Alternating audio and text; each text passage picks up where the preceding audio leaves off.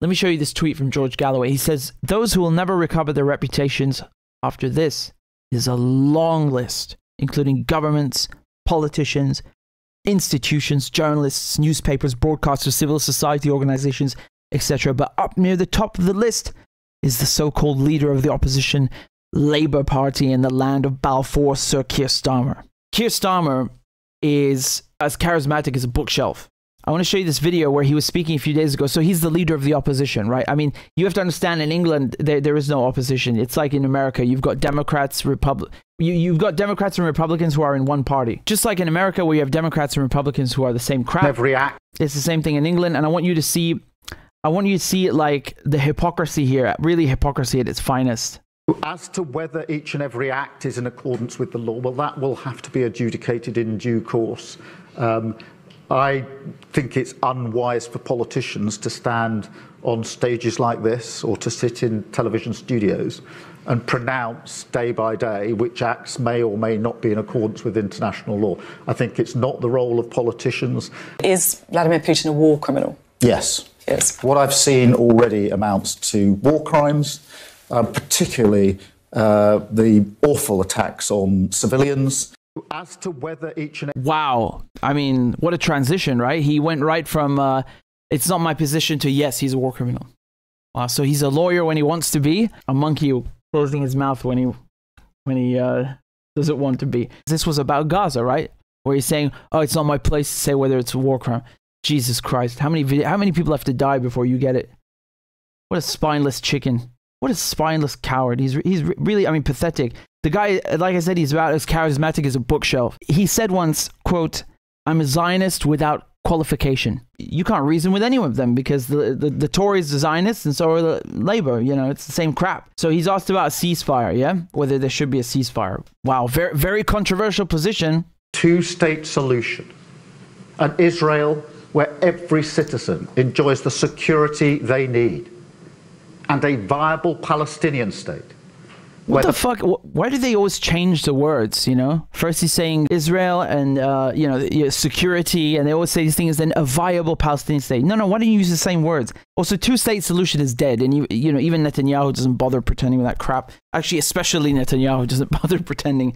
Why should Why should anybody else? I, you know, this is like somebody breaks into your house, they take half of your rooms, and then they they they say like you know if you don't accept partitioning the house, then you're a terrorist. You think America would accept that? You think someone, you, people can just go to America and make a new country out of some state? They'd be nuked. They'd be nuked, caged, deported. you have another thing coming. Palestinian people and their children enjoy the freedoms and opportunities that we all take for granted. And that is why, while I understand calls for a ceasefire at this stage, I do not believe that it is the correct position now for two reasons. One, because a ceasefire always freezes any conflict in the state where it currently lies.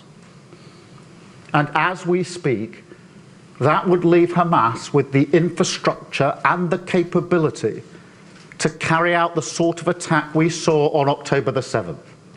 Attacks that are still ongoing, hostages who should be released still held. Yeah, they, they can be released when you release, uh, you know, the 10,000 Palestinians that are in Israeli jails. How about that?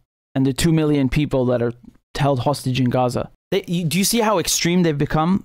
They before they would they don't want a ceasefire, of course, but they would say it to you know pay lip service. And uh, you you don't want a ceasefire. That's actually very good because uh, the resistance were gonna make sure that uh, you know things never go back to the way they were. No, no, they cannot. How can they go back to the way they were? You've massacred. You've committed a genocide. This asswipe. I mean, just look at him. What a pathetic mop. He looks like a mop, like a bloody broom handle. And he, he puts a poppy on it. You know, he, he pins a poppy on his on his uh, blazer, like as if he gives a shit about veterans or people that died from wars. And he's advocating for genocide while wearing a poppy. You clown. You want to see how people are, are reacting outside? Well, I can tell you they're not. They're not very happy.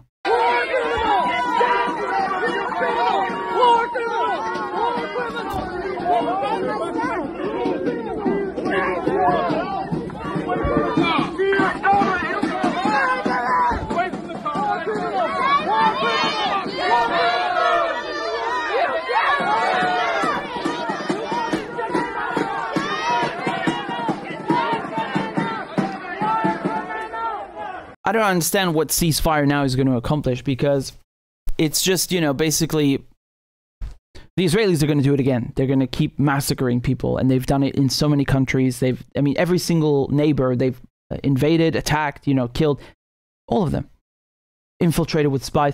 Uh, what is a ceasefire going to achieve? What you know, it's like you have uh, a squatter, a thief in the house, and you're saying like, yeah, let's just leave him there for a while longer. No, fuck back to where you belong. Go home. You have like multiple citizenships, and, and you're caging Palestinians. What, who said Palestinians owe you anything? Uh, whether it's diplomacy, whether it's a ceasefire, look what look what that got them. It's been 75 years. It's been 30 years since Oslo Accords. What did diplomacy get the Palestinians? The a- Arab League signed on to the Arab Peace Initiative in the early 2000s. Do you want to know a fun fact?